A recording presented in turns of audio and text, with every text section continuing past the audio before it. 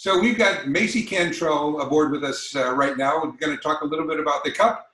Um, she went in 2017, and Macy, thanks for hanging out with us a little bit. You're from uh, the southeastern portion of Ohio, right? Yep. And uh, 2017, you went to the Cup. What did you think of the playing side of this adventure?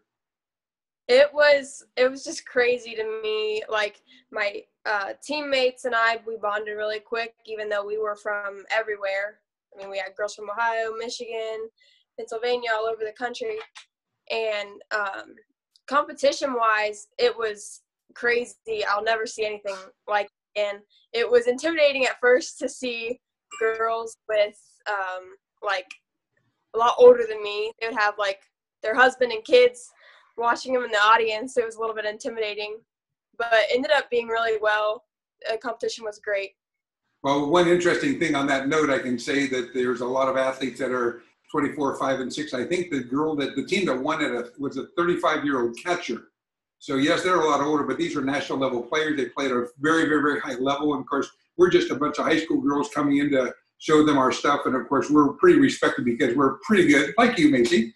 But anyhow, what is a couple of things that you took away from this trip that the overall trip? We ended up in Paris, we were in the Netherlands, we saw Anne Frank's home and things like that. What was something that was outstanding from this trip that you just loved?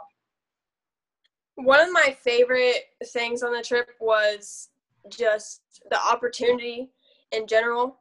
When I found out I was being even considered to be able to go, I was extremely honored and excited.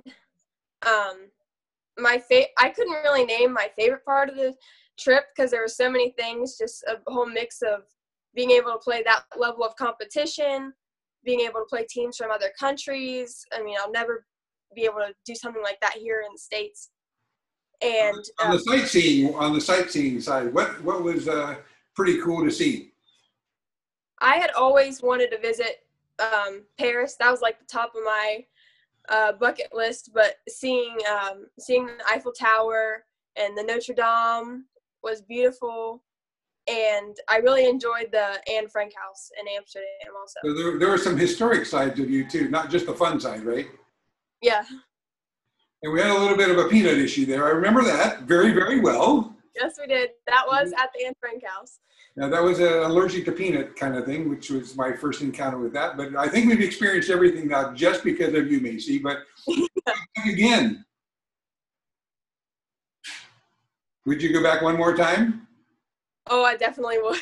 I so I'm going to talk to your parents after we're talking about this. I'm going to yell at them real, real quick and say, Scott Sharma, I'm going to take her back. Maybe we won't let them know next time. We'll just say we're going to go for a baguette, and we'll end up in Paris. That's good. Yeah. Well, anyhow, thanks a bunch, Macy, and uh, thanks for your input. Uh, very appreciated. Loved having you. Would love to take you back one other time. Thanks again.